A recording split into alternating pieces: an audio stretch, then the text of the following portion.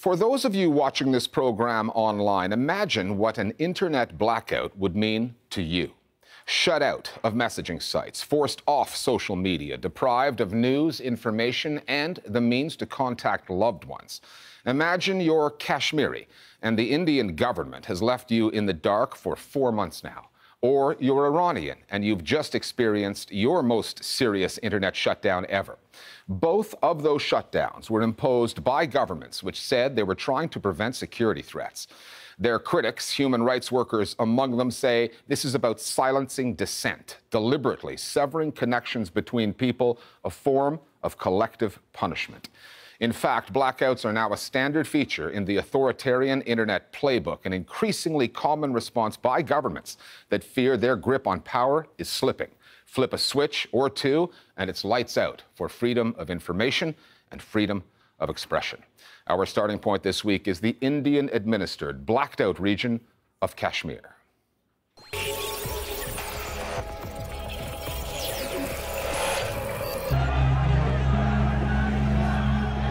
Two cities, two countries, two populations, large parts of which are politically restless, and two governments with the means to silence them. Srinagar, Kashmir, offline for four months now and counting after the Modi government in New Delhi altered the constitution to revoke the region's autonomy. And the Iranian capital, Tehran, where net users were recently forced offline in the longest shutdown ever after economic protesters had taken to the streets. The authorities in Delhi and Tehran both had stories to control and used blackouts to do it, keeping their citizens in the dark, stopping them from speaking to the outside world. These are two very extended internet shutdowns that happen around a political crisis in the country. In the case of Iran, of course, this was around uh, economic protests that really uh, snowballed into large-scale anti-government protests. And in Kashmir, there have been protests and riots that have been happening in that sort of disputed territory for a while. What's marked these two shutdowns was just how long that they have lasted and sort of the, the humanitarian and economic costs that they have wrought on the, on the population. These internet shutdowns are also different from each other. Iran did block the internet entirely, but it did so for a relatively short period of time and was responsive to international pressure.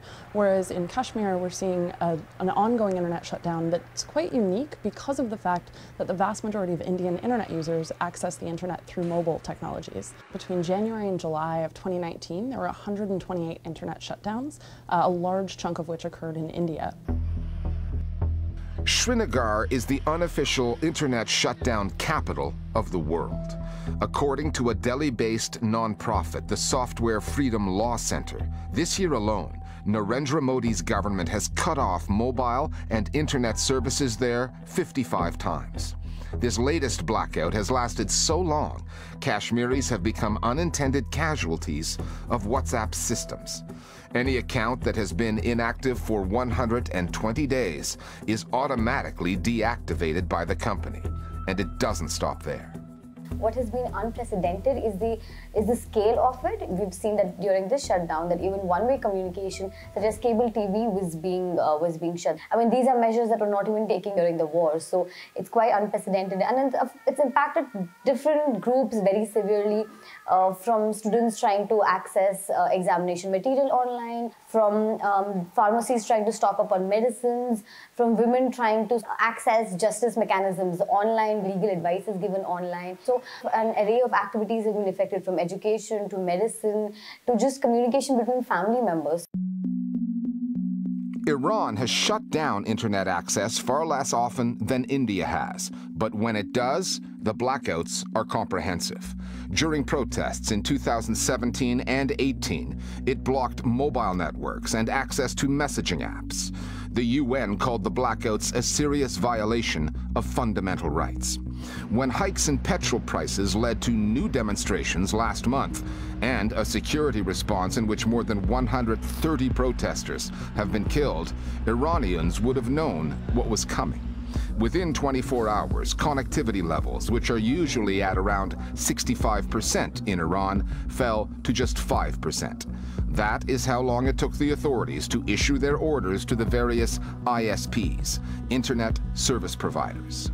It wasn't a kill switch, didn't happen immediately. This was basically coordination across all the internet service providers in Iran and getting them to turn them off. I was actually privy to some uh, leaked documents and you could see how the government had ordered these internet service providers to go through a methodological plan of actually bringing the country back online to the international internet and they were telling them who to connect back online. And these were you know the startups um, public institutions the research uh, institutes and then onto you know the broader public Forcing ISPs to take orders is one way to control the internet, but it's complicated. Building your own national intranet by limiting the number of information pipelines into and out of a country is another. China and North Korea both have national intranets, easily policed, and Iran is developing a model along the same lines. Intranets allow a government to unilaterally cut off its citizens from content the rest of the world sees. Intranets also spawn all kinds of mirror platforms, modeled on the likes of Facebook, YouTube, and WhatsApp, domestic versions of software or apps that those governments can control far more easily than the ones based in Silicon Valley.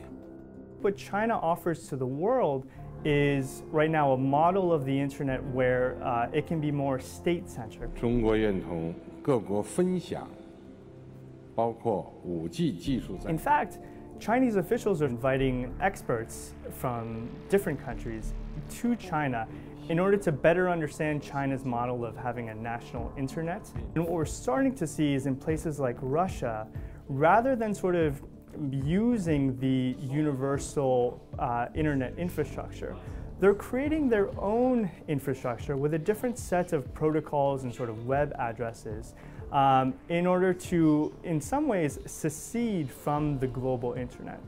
When we see the internet sort of being broken up into many different internets, um, I think that the, the result for democracy and freedom isn't good. The idea for the National Information Network was conceived all the way back as early as 2005 in Iran. One of the nicknames that it got was Halal Net, and this was, you know, to describe how the immoral content that could be found on, you know, a free and open internet would naturally be censored, and there would be like a, a moral Islamic version of the internet.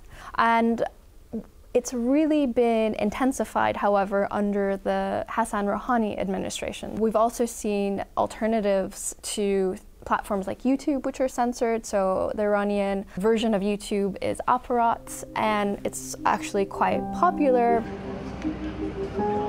On internet shutdowns, the position of the UN's Office for Human Rights is clear. They are a breach of basic human rights freedom of expression, freedom of information that Kashmir is a form of collective punishment without even a pretext of a precipitating event, that Iranians have been deprived not only of a fundamental freedom, but also basic access to essential services. And one thing that governments might want to ask themselves before they go down this path, do internet shutdowns even work?